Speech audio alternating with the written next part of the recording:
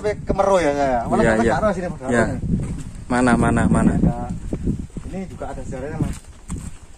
Ada situs Paseban. Situs Paseban. Ya, ini nggak tahu makanan siapa mas ini jadi leluhur kita. Mari kita berdoa mas. Bismillahirrahmanirrahim. Bismillahirrahmanirrahim. Anu.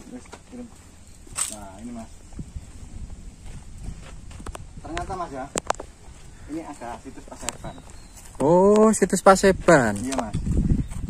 Ini kalau Paseban itu lah kalau zaman dulu mas ya, yang Iya. saya tahu. Ya. saya tambah baca-baca itu ya ternyata pas sepak artinya itu kita tuh eh, menghadap raja gini loh gini mas raja di situ gitu loh jadi nunggu-nunggu kayak apa ya namanya apa jenis itu Sujud. nah sujud sujud Sendika dawuh Sendika Mas. dawuh. Nah, Oh iya iya iya.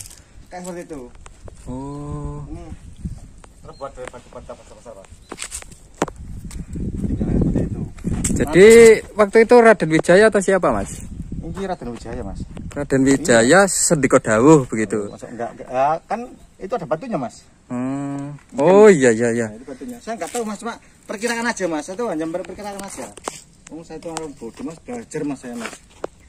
Ben roh urut sejarah dari luar kita. Makanya nanti tanya-tanya sama juru kuncinya aja. Oh ini batanya seperti ini ya. Iya besar-besar. Sangat besar besar sekali. Sandem. Ada coretan dua. Iya. Di Oh. Majapahit, cuman sebelum Majapahit mas mas.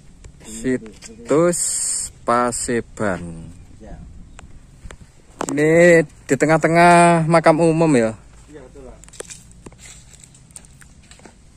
Nah ini kalau- seperti ini. Ya.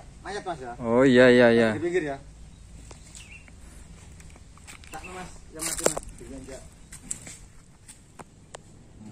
Hmm, sungkem. Jadi yang duduk di situ itu raja. Iya, Hmm. itu batunya mas. Batunya entah untuk duduk atau apa itu nggak tahu saya. Oh ini ternyata. Ini berada di desa Kedung Bacok, Kecamatan Tarik, Kabupaten Sidoarjo, Jawa Timur. Iya betul.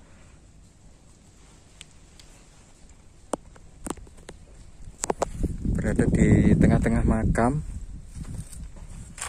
Jadi di sini ada dua makam juga ini ya. Iya, entah itu siapa mas. Tapi itu ada batu yang unik mas. Iya ada dua makam. Tapi ini makamnya terbuat dari batu andesit mas ya. Satunya andesit, satunya entah apa itu. Oh batu andesit. Bulat ya. Dan di sini juga ada bata yang sangat besar. Bata sandem.